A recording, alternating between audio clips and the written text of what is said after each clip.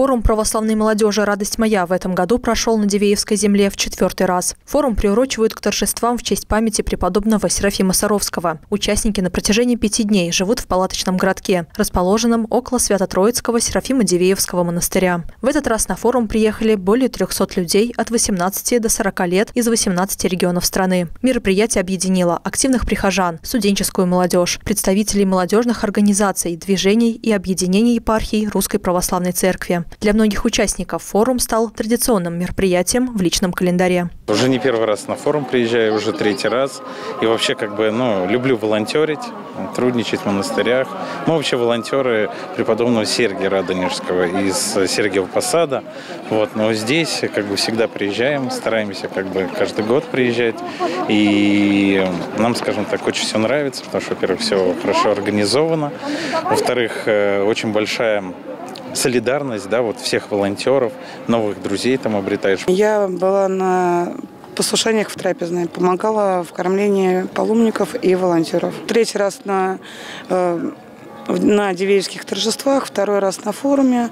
И в прошлом году также была в трапезной все дни. Мне это интересно общаться с людьми. Уже есть друзья, с которыми переписываемся и в ВК, и созваниваемся с другими. И не только Нижегородская епархия, но и Симбирская, Нижегород... Московская.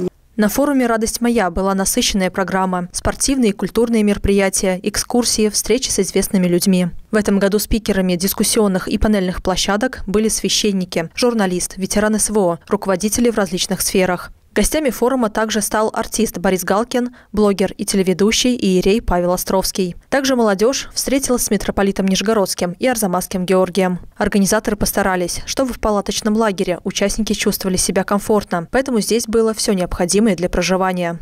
Крупномасштабный, это можно сказать, форум. Это не так часто у нас в России что-то интересное происходит, то есть православное. Городок очень хороший, спать комфортно, удобно нас там кормят, то есть всем, всем, всем необходимым мы, мы обеспечены. Вот.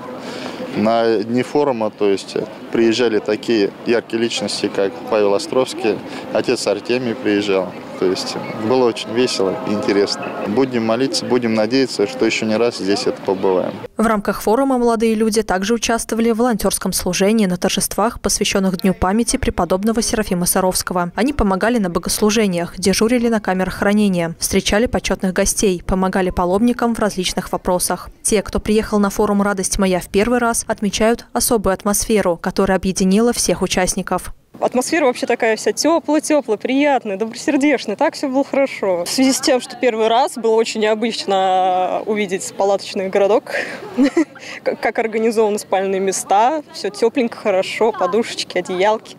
А, было интересно послушать спикеров. На торжественном закрытии форума все волонтеры получили дипломы и подарки. И самое главное, ребята увезли с собой домой новые эмоции и впечатления. Светлана Ярунова, Евгений Шикарев, Кирилл Новикевич, служба новостей Саров 24.